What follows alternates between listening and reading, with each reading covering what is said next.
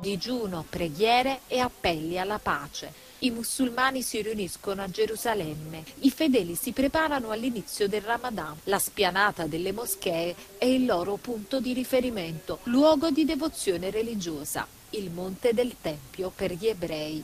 Sullo sfondo restano le tensioni per gli scontri israelo-palestinesi degli ultimi anni. Il timore che le violenze possano intensificarsi durante il mese sacro. Le Nazioni Unite hanno invitato tutti i leader ad astenersi da azioni provocatorie in un momento tanto delicato. Per la maggior parte delle famiglie sarebbe un momento di festa.